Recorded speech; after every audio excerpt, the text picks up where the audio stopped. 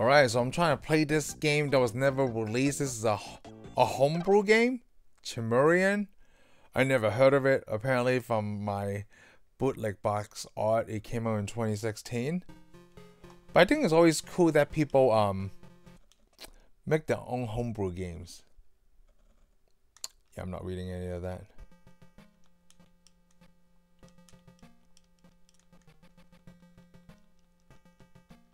Oh, why are you doing all these fancy moves?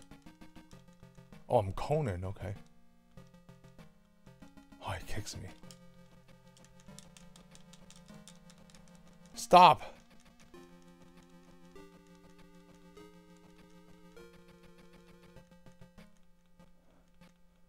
So I'm thinking the game started because like is I thought it says story mode. This is just like a uh Oh.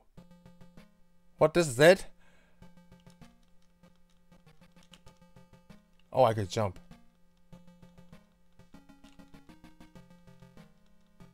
Okay, I feel like this is my only move. Yeah, you keep doing that spin fancy move. Oh, what the heck was that? Wait, was I even playing? I thought I was. Or did I die? Oh, here we go. Death mode. Versus mode. Dude, this game is not that good.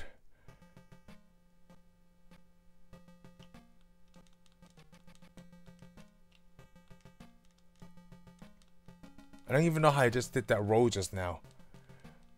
Oh, this game someone made this? Is there is, is there like a huge fan base that I'm missing here?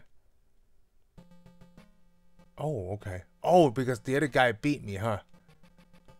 They all look the same to me, but different costumes. Is it like his skin tone looks darker? I'm wearing gray and he's wearing green. I mean, I don't mean to diss you or anything, but the guy who made this game was probably like, oh yeah, this is awesome.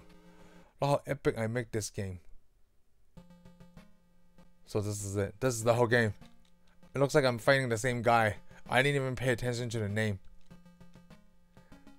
Kalaw. Okay, you know what? Let me try to beat this guy and see if...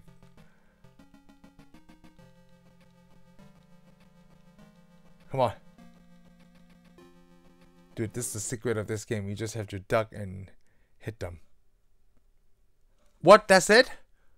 It felt like it went nowhere. Oh, okay, that's it, man.